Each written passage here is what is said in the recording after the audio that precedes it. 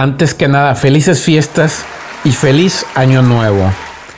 En este día te hablaré de algo que la pelirroja me compartió en un estado de lucidez. Me dijo, mira Sigi, los seres humanos son como los átomos. Tú sabes que lo que ocurre en pequeño se replica en grande, como los pulmones y los árboles, los huracanes y las galaxias, los átomos y los sistemas solares. Bueno, como sabrá, los átomos tienen niveles de energía, es decir, órbitas cercanas y lejanas del núcleo, que marcan los límites en el potencial de energía de los electrones que las componen. Cada ser humano posee niveles parecidos y los niveles marcan la excitación espiritual del momento.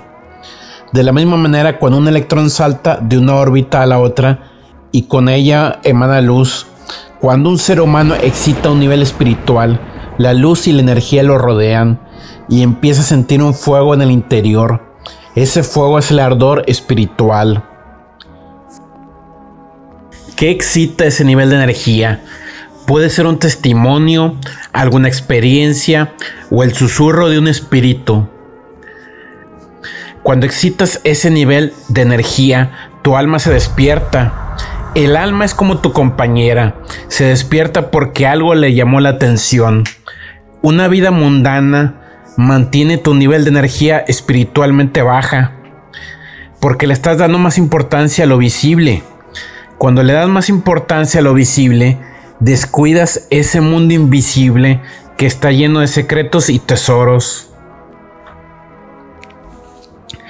El futuro es eminentemente espiritual, pues con la madurez notas que hay algo que ni con todas las riquezas ni la fama te podrán llegar a saciar, que es el hambre que tiene tu espíritu.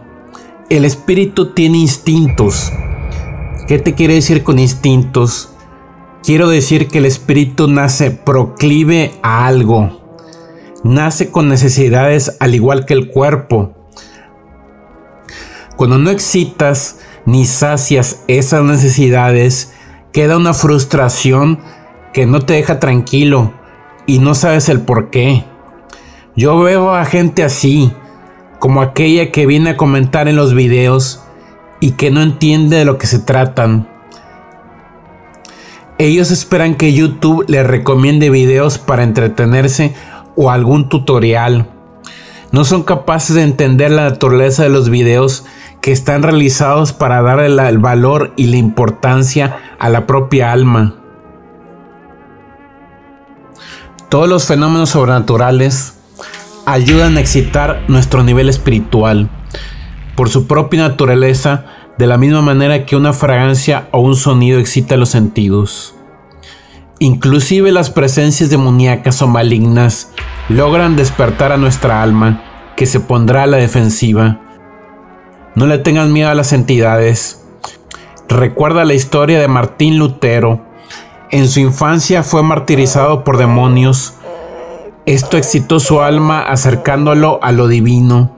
Sin esas manifestaciones terribles, no hubiera podido desarrollar su pasión por la iglesia, que llegaría al límite de reformarla, creando el protestantismo.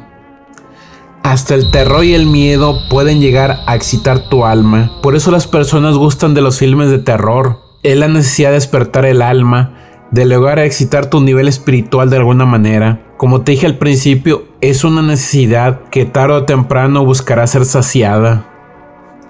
La diferencia con la pelirroja es que ella explica la naturaleza de todo esto para que seas consciente de las necesidades de tu alma. Te mando un fuerte saludo de parte de mía y de ella. Seguramente este año tendremos pruebas que superar. Por lo tanto, te mando de mi parte fuerza espiritual de antemano. Si te sientes solo o sola, aquí tienes a alguien.